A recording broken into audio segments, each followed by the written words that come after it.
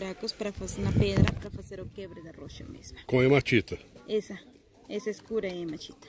Né? É, hematita Fazer é quase preta. para poder jogar. Quebrar a rocha. Quebrar. Tirar. É, quebrar, cortar. Agora aqui vocês podem olhar de como faziam o arrasto dos blocos de pedra.